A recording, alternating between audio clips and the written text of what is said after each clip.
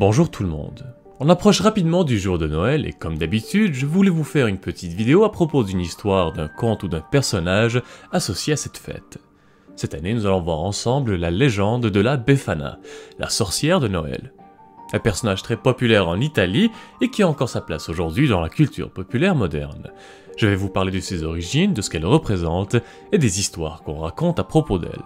Les origines de la Befana, tout comme les origines de plusieurs créatures et personnages associés à Noël, comme le Krampus, ont des racines profondément ancrées dans les anciennes croyances païennes pré-chrétiennes.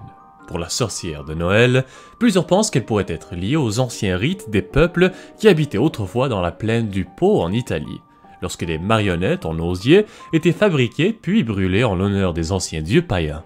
Le nom Befana est apparu historiquement pour la toute première fois dans un poème du poète italien Agnolo Firenzola en 1549. Elle était dépeinte comme une vieille femme hideuse vêtue de vieux haillons sombres et qui dans la nuit du 5 au 6 janvier survolait les maisons sur son balai et entrait dans les cheminées. Une fois à l'intérieur, la sorcière de Noël laissait des friandises et des cadeaux pour les bons enfants à l'intérieur des chaussettes et des chaussures qu'ils avaient laissées près de la cheminée, et puis du charbon noir, de l'ail ou des oignons pour ceux qui avaient été mauvais durant l'année. Dans la tradition chrétienne, la légende raconte que la Befana était une simple paysanne qui vivait près de Bethléem. Lorsque les trois rois sont venus la voir en quête de l'enfant Jésus, il lui avait dit qu'ils étaient en train de suivre une étoile qui les conduirait à un nouveau-né et l'avait invité à les accompagner. Mais elle répondit qu'elle était trop occupée et qu'elle ne pouvait pas les suivre puisqu'elle avait des tâches ménagères à terminer.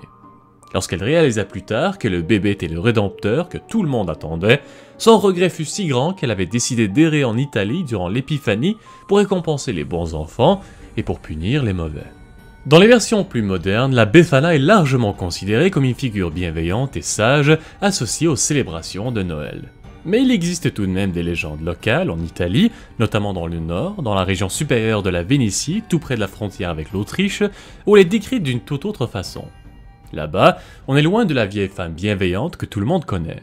Elle n'apporte pas avec elle des cadeaux ou des friandises, mais plutôt la peur, la mort et des cauchemars. Mais si on met à part les quelques légendes locales où elle est décrite de cette façon, aujourd'hui elle est majoritairement représentée comme une figure bienveillante et unique de la célébration chrétienne de l'Épiphanie. En Italie, plusieurs célèbrent la Befana en organisant des fêtes et en fabriquant des décorations de toutes sortes pour montrer leur gratitude envers elle. Les enfants les soucient des chaussures devant les cheminées pour qu'elle y dépose des cadeaux à chaque année. Aujourd'hui, il y a même une journée nationale de la Befana célébrée à chaque année dans la commune italienne d'Urbania. Pendant la célébration, les enfants du quartier sont encouragés à accrocher des bas dans les rues du centre-ville, tandis que les adultes, eux, décorent les bâtiments avec des lumières. Les habitants célèbrent également en mettant en place des marchés de rue où les vendeurs vendent des friandises uniques pour les temps des fêtes.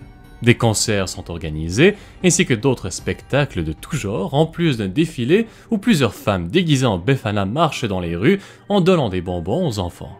Bien évidemment, la Befana occupe une place toute particulière dans la culture populaire et est donc représentée non seulement dans toutes ses fêtes et célébrations, mais également dans certains livres pour enfants, certaines marques de friandises, et même un film a été fait en 2018 sur la sorcière de Noël. Bref, la légende de la Befana occupe toujours une place très importante dans la culture populaire et les traditions italiennes, et elle restera ainsi pour encore bien longtemps. Alors voilà, c'est tout pour la légende de la Befana, n'hésitez pas à laisser un commentaire si vous avez aimé la vidéo, et à vous abonner à la chaîne pour ne pas rater aucune des prochaines. Joyeux Noël à tous et à toutes, et à bientôt.